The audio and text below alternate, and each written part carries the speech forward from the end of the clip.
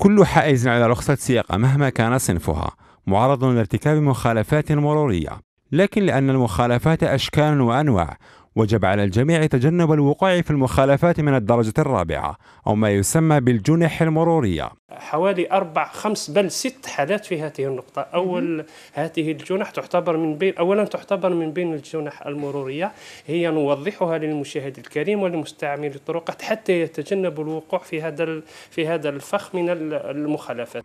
فعلى سبيل المثال تعد محاولة استخراج رخصة سياقة ثانية أو حيازتها بتصريح كاذب.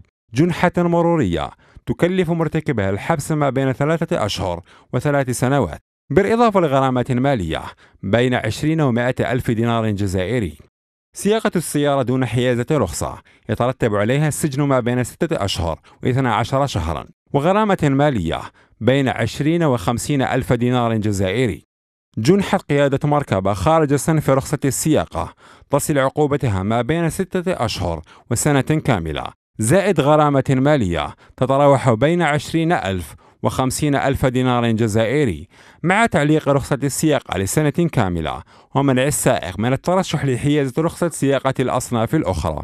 سياقة السيارة مع سحب الرخصة أو عدم تجديد رخصة السياقة المنتهية الصلاحية تكلف السائق السجن من ستة أشهر إلى سنة كاملة بالإضافة لغرامة مالية بين عشرين ألف وخمسين ألف دينار جزائري. جنحة تجاوز السرعة المحددة في الطرقات السريعة ب 40 كم في الساعة وب 30 كم في الساعة خارج التجمعات السكانية وب 20 كم في الساعة داخل التجمعات السكانية. تكلف مرتكبها غرامة مالية بين 10 آلاف و 50 ألف دينار جزائري.